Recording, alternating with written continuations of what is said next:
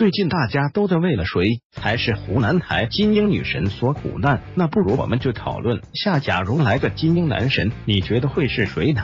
比如说最近很火的邓伦与朱一龙，先说邓伦吧。邓伦最近真的是一部剧接着一部剧，甚至有的还在不停的拍戏中，真的是娱乐圈中的演员楷模。大家应该记得邓伦跟金鹰女神两大候选人迪丽热巴与杨紫都合作过，并且收视率都是杠杠的。之前与赵丽颖搭档，虽说不是主演，但演技也是屈指可数的，并且一手表演全部都是你，把观众的眼球。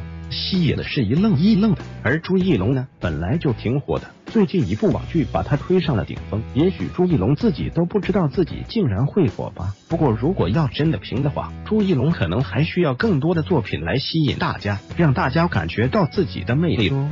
这两个呢是新晋小男孩，但是接下来的人，他可是我们的老朋友了哦。不错，就是李易峰。李易峰可是古装现代剧的收视率高手，之前与杨幂合作的几部剧更是火的不要不要的。但是最近没有太多作品，可能前几年太累了。但是大家都知道李易峰最爱篮球，所以最近有一款综艺，李易峰是非去不可的，并且李易峰竟然很可爱的问人家：“你有什么才艺？”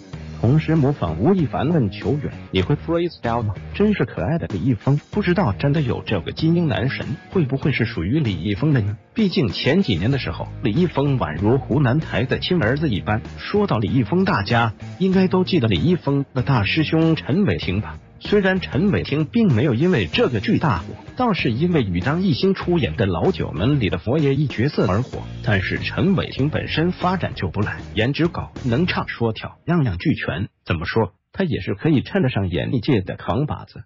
而且那时候他与赵丽颖被他们认为十分相配，而且这个 CP 也是大家有目共睹的。